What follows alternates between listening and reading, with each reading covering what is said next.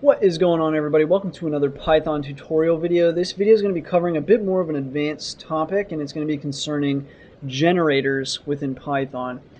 First off, what even is a generator? The idea of a generator is to generate the specific item that you're looking for in a list that you want to use and you're like say you want to iterate through a list. The idea of the generator is to generate that item that you need right at that moment then throw it away when you're done it's also called like lazy generation, that kind of stuff. Um, and the end result of this is a just drastic improvement in processing time. Uh, most of the time, it's going to be like a night and day difference when it comes to memory usage. You might even find that some of the tasks that were the most memory uh, using tasks that you were doing suddenly are using no noticeable difference in memory at all, right? um, or you don't even notice that they're using memory, rather, is what I'm trying to say. It's a huge difference. Uh, alongside that, you're also, um, your processing time will improve uh, pretty significantly. Now, depending on the kind of operation you're doing, the processing time, you might not notice such a substantial increase, and sometimes your processing time will improve, but for that short span where it's doing whatever it's supposed to be doing, your, your uh, your actual CPU usage will increase, even though RAM will in theory go down, CPU usage might go up. For the most part though, if you use these correctly, um, I mean, it, it, could be the difference between, like, say you're you're running, you know, uh, some sort of web app or something like that, and your processing costs are maybe hundred dollars a month. Um, like the difference between that is like you might be using $100 a month of processing you use this and it changes to like a dollar a month worth of processing. I mean, it's just huge differences. So uh, knowing and understanding generators and like the scenario where you might get a generator is pretty useful so one of the easiest uh, ways to show this is when you're considering a some sort of uh, huge list and in this case we're going to use a range function uh, to generate a massive list for ourselves um, you don't really need to import anything to write your own generator. I'm going to import time simply because we're going to be benchmarking um, some stuff. So uh, well, I'm going to call this variable start t for start time, and that's going to equal whatever time uh, that time is at the, at the time. And then we're going to say x equals range, and we're going to do the range of 150 million to 300 million. Um, and then we're going to say we want to print x 555. So the 556th uh, number basically is what 555 will give us. And then we're going to say uh, print um, time took with time, uh, I guess we'll say time normally took uh, will be um, current time dot time minus start time. So it'll print out, you know, how many seconds this process took uh, to do it. Now, what I'm also going to do is I'll bring over my processing here, uh, just for the sense of benchmarking. Um, my processor is an i7-3930K. It's overclocked about 40%. And my RAM, I have 16 gigs of RAM. So now let's run this and see what happens uh, with this typical RAM. Whoops, wrong key. anyway, run it. Pull this up. And you can see my RAM went way up to about 14.3, 14.5-ish. You see the CPU usage went up a little bit at least. Um, but that might be something that's going on in the background. Because really what happens is it just stores that list to memory. So we can come over here and we can see that, okay, it did print the 556th, so to speak, value, which ended up being, you know, 150,555 and the time it took to do this was 2.31 seconds. So we'll leave that there. Um, I'll leave the processor there too, or all this stuff there. Uh, and also, while the program is still running, it's still storing this range into memory. So we could, in theory, print X, and it would print out that range. So it's all stored to RAM. But you'll see as soon as I close out of this, um, as it dumps the memory, it should jump back down again or drop back down again. As you can see now, it's 10.1 gigabytes. So you can see both that processing time and RAM usage either even if you dumped x, like in theory, what you can do sometimes if you can't use generators, you could say x equals this when whenever you're all done, and that would dump uh, x, right? So you could do that, but while it's calculating, it's still using that much RAM, you know, until you dump x. So uh, Python actually has built-in function called X range, which is very similar to the typical range, only you just call it X range. So literally going to just copy this and paste it down here, and I'll just jump jumble them together. Um, and then we'll call this uh, generator took. And then the only thing is range, you just say X range. And this specifies Python's generator function that uh, does the, basically the exact same thing that range would do, only it uses a generator. So now let's go ahead and benchmark this stuff, and I'll pull this over again. Actually, we should I should cancel the one, but then we'll compare them anyways. Um, so you can see that the um, the time normally took about 1.87 seconds, whereas with the generator it took 1.1 seconds. And the other thing I wouldn't mind doing is let's go ahead and dump this for now. And then um, just display uh, the RAM usage here. So CPU usage kind of spiked a little bit, otherwise nothing much happened there. And then you can also see the generator actually this time took uh, 0.003999 or whatever. Um, so let me run that again, because uh, that was more like the result I'm looking for anyways. Yeah, so you can see it did it again. Uh, it could possibly be just the uh, restorage of x, possibly. I'm, I'm not quite sure. Uh, let's call this y and y and see if that makes any noticeable change for us. There we go. So, so the main issue there, uh, the reason why at the first attempt uh, it took so long was we were using the same variable, so this was just replacing that variable, and I think that's what, what took it so long. So this is the drastic increase that you should have been seeing.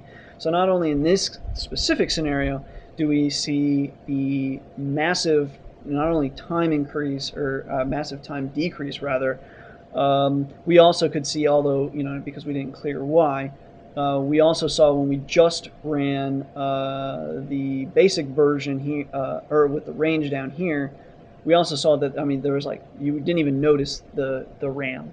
So huge differences as you can see. And then also, obviously, the same uh, functionality. So then the question is, you know, okay, cool, you know, we can make large range functions, you know, can we actually harness this power for our own custom tasks, right? And the answer to that, yes, yes you can. It's just a, a syntactical change, basically, that you're going to have to do. So now let's consider something, and actually uh, we won't use, um, well, let me just show you. So what we're going to do here is we'll just delete all of these for now, and actually we'll leave, I'll leave the, uh, the benchmarking stuff there. And so now the regular one, we're going to say um, for n in range of uh, 1 million. So we'll make a for loop uh, we're going to say x equals n uh, plus n. So it's just going to add itself uh, together. Now, since this is such a large digit or a large um, number, like for example, I could just do this 10, and then we'll just say uh, print x for now, and then I'll we'll go back on this in just a moment. So now if we come down here and we said uh, we'd make this now a generator, we'll call this simple gen equals, uh, and then we're going to do n plus n for uh, n in range, so we're not even using x range here, uh, and then we'll just do 10, right? Um, so we'll do that. And that, as both of these will end up this will iterate through the list. This will create a list that we can't iterate through. So then we would say, you know, for uh, n in simple gen um, print n. Save that. And this is 10, that's 10. Generator took, yeah, okay, so we can do that. Make sure we did everything right. Uh, let's go ahead and run that now. And just so you guys can see that it's doing the same thing, we printed it out. I don't want to print it out. but I just want to show you the performance difference um, after this. I just want to show you that they do the same thing. So for each number, it's just adding it to each other, right? And so this was slightly quicker, but we were using such a small number that there's no, you know, not surprisingly, a huge noticeable difference. So now let's get rid of the actual printing process, and we could even say for n in simple gen pass, just to make it the most fair um, calculation possible. So we could say, instead of 10, we could go 10 uh, thousand. So add just three zeros and run it. And here you can see that the time normally took, you know, 0.005. This one was 0.003. Close out of this. Uh, let's add, you know, three more zeros here. Run it again. And then again, not the hugest uh, production difference there simply because we are iterating through um, just a regular thing. Um, but anyway, you get the idea there. And now finally, let's make an even uh, another function here. So let's delete this and delete this. And this one we're going to be, uh, we're going to find two functions. So this will be define add nums and then n for the nums that we want to add. And then we're going to say all n for all nums equals range n. We're going to say x equals 0, current num equals 0, and then while x is less than length of all n, we want to do cur num plus equal, oops, sorry, plus equals x, and then x plus equals 1. Finally, when this is all done, we return uh, cur num. And what this is going to do is just going to add every number in the range of this. So if we put, say, 10, it's going to add 1 plus 2 plus 3 plus 4 plus 5 and so on all the way to 10. So that's what this function is going to do. Now let's write a function that does the exact same thing. And we'll do that down here. So we'll say, um, let me think here. So it'll be define, we'll do add nums gen n, so no difference there. And then we'll say cur num equals 0. And then here we do while cur num is less than n,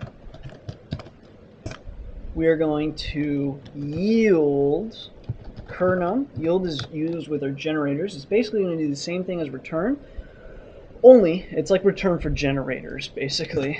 And next, cur num plus equals 1. Now, uh, let's come down. Let's see. Generator took. Uh, I want to go ahead and print it out. So let's come here and we'll say print add nums uh, and then we'll do uh, 10, 1, 2, 3, 1, 2, 3, so 10 million. Um, then I'll just copy this just so we don't screw up. Uh, and then down here, I'll do uh, print add nums gen, and then again 10 million. And then we'll save this, and we'll run this one.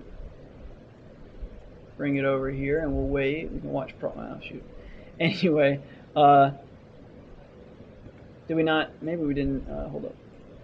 Yeah, my bad. Uh, we need to print the sum of add nums generator. Try again, son. Close that. And, okay, rerun it. And I'll try to pull up here. There we go. Of course.